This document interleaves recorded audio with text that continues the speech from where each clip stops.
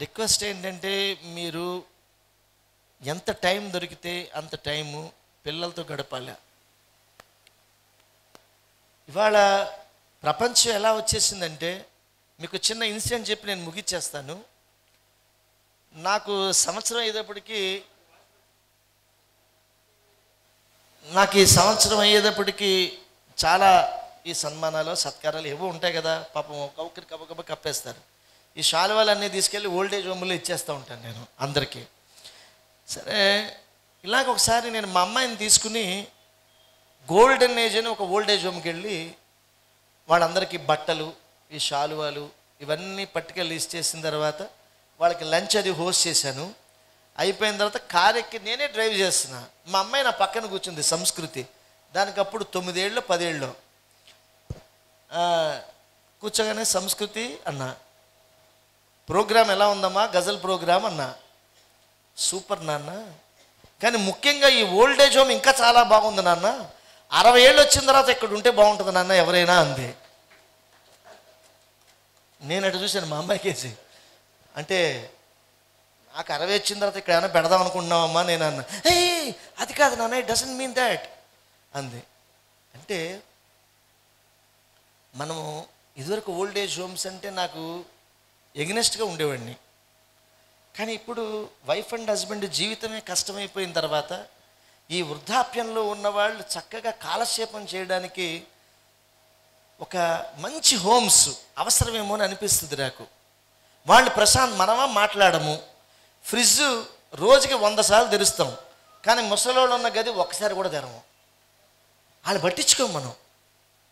కానీ ఇవాళ మీరు గుర్తుపెట్టుకోండి పేరెంట్స్ పిల్లల్ని అడుగుతున్నారు ఏమన్నా తెలుసా మీకు? ఈ ప్రపంచం చూసి ఎందువల్ల అంటే మనం ఎలాగో వండి పెట్టం. స్విగ్గీలో జొమాటోలో కొడితే ఫుడ్ వచ్చేస్తుంది. బట్టలు పిల్లలు కుట్టేవాళ్ళు ఇంతకుముందు తల్లిదండ్రులు. ఇప్పుడు బట్టలు కూడా బయట కొంటాం. అన్నీ రెడీమేడే. ఏదైనా సినిమా చూసి అమ్మ అని అనగానే ఎమోషనల్ అయిపోయి అమ్మని వెళ్ళి కౌగిలించుకుంటాం. మళ్ళీ అమ్మంటే గుర్తురాదు మళ్ళీ. అన్నీ కూడా ఫాస్ట్ ఫుడ్ సెంటర్ రిలేషన్స్ అయిపోయినాయి మనకి. ఇక్కడ ఏంటంటే ఇవాళ తల్లిదండ్రులు అడుగుతున్నారు పిల్లల్ని ముసలి వయసులో నేనుంటే నన్ను ప్రేమిస్తావా కన్నా? బహుదూరంలో నీవుంటే వచ్చి కనిపిస్తావా కన్నా?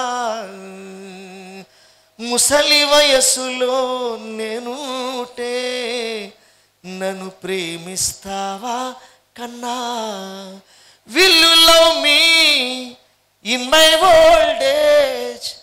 Will you love me in my old ముసలైపోతే ముసలి రోజుల్లో నేను వృద్ధుణ్ణైపోతే నన్ను ప్రేమిస్తావురా నాన్నా అని అడుక్కునేటువంటి పరిస్థితి ఇవాళ తల్లిదండ్రులకు ఉంది ఇవాళ మీరు ఎక్స్ప్రెస్ చేయకపోవచ్చు. రేపొద్దున వీళ్ళు అమెరికాలో వెళ్ళిపోతే ఇంకో చోటకి వెళ్ళిపోతే సిటీలో ఉంటే కనీసం చూడడానికి కూడా రారు. మా అమ్మ చాలా అదృష్టవంతురాలేమో అనిపిస్తుంది. మా అమ్మ మొన్న జారి కింద పడిపోతే హిప్పిరిగిపోయింది నేను ఆ పక్కనే ఉన్నాను పక్క ఊళ్ళో గబగబా వెళ్ళాను. మా అమ్మని వెంటనే హాస్పిటల్ తీసుకెళ్ళాను. యాభై రోజులు నేను మా అమ్మతోనే ఉన్నాను ఇంటికి తీసుకెళ్ళేంత వరకు. అయ్యో మా అమ్మ నడక నేర్పింది నాకు మా అమ్మ. మళ్ళీ మా అమ్మకి నడక నేర్పి. ఇంటికి తీసుకెళ్తే కానీ నేను మళ్ళీ హైదరాబాద్ వెళ్ళకూడదు అనుకున్నా ఎక్కడికి వెళ్ళి యాభై రోజులు అమ్మతోనే ఉన్నా. వాకర్తో నడిచిన తర్వాతే మళ్ళీ ఇంటికి వెళ్ళి. ఇది ఎందుకు చెప్పాను? గొప్ప కోసం కాదు. కదా శ్రీనివాస్ నాన్నమే పాడాడు అమ్మ మీద పాడాడు అంటే నిజంగా చూసుకుంటాడా అంటే మా అమ్మ అమ్మ నాన్న నెంబర్ ఇస్తాను మీరు మాట్లాడండి. వాళ్ళు చెప్తారు. అదృష్టం. అదృష్టం. తల్లిదండ్రుల విలువ మనకి తెలిస్తే ఏ దేవుడి గుడికి వెళ్ళక్కర్లే. ఏ దేవతని పూజించక్కర్లే. గుర్తుపెట్టుకోండి. అమ్మ చుట్టూ ప్రదక్షిణం చేస్తేనే విఘ్నేశ్వరుడికి గణాధిపత్యం వచ్చింది. అమ్మ చుట్టూ ప్రదక్షిణ చేస్తే. అలాగా మీరు తల్లిని ప్రేమించిన వాళ్ళు ప్రొఫెట్స్ ఎంతోమంది గొప్ప గొప్ప వాళ్ళు ఎలా అయ్యారో వారి తల్లితో ఉన్న అనుబంధాన్ని మీరు గుర్తుపెట్టుకోండి.